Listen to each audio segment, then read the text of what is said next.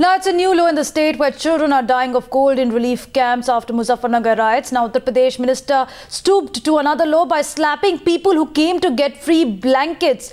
In fact, Uttar Pradesh's state minister for PWD and irrigation, Surendra Patel, was attending a free blanket distribution program in Varanasi. But look how the minister slapped a person who had come to get a free blanket.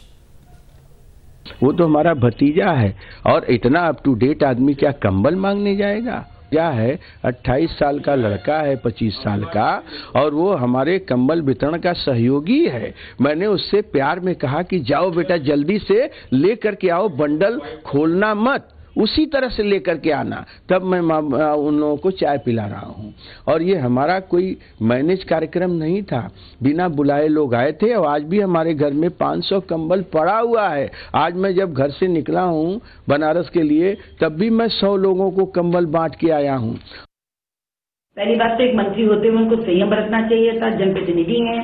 संयम बरतना चाहिए था उनके वितरण व्यवस्था में अगर दुर्बलता थी, कमी थी तो उन्हें रोक देना चाहिए था काम को, अपने प्रबंधकों को जो वहाँ पर आयोजक थे, उनको पर नाराज़ होना चाहिए था निस्बत इसके कि निरी जनता के ऊपर आपने हाथ चलाया। देखिए, लोग काफ़ी त्रस्त परेशान रहते हैं अगर आपने कोई घोषणा करी है कि कोई आप वितरण का लाभ लोगों को दे रहे हैं तो आप एहसान ही करते हैं लोगों पर, और ये अपमान करना मैं समझती हूँ पूर्तियाँ गलत है। उन्हें क्षमा मांगनी चाहिए जनता से और इस प्रकार की कृति से भविष्य में बचना चाहिए।